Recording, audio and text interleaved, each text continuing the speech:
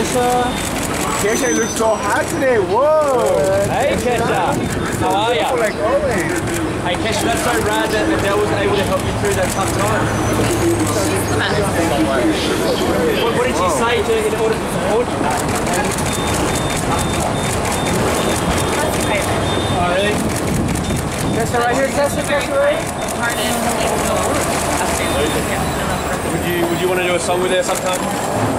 I mean, that would be like a dream. no, right. Hey, Ifan. Most people's dream. Totally, my dream as well to sing with Adele. Um, hey, it'd be great if we had a female president already, but if Ivanka Trump happened to become America's first female president, would that be a win for women? You think? Kesha right here, love. People know how I feel about it. But she's a female, so if she became the first president, like, that'd be good. That'd be a good thing. Yeah, for women. Let's do it. I'll take that as a no. I take that as you wouldn't vote for her. Right here, right here, right here. You wouldn't vote for her, Nick? All right. Thank you so much, Kesha. What's up? Bye, Kesha. I love the outfit, by the way. Where'd you get that? Kesha.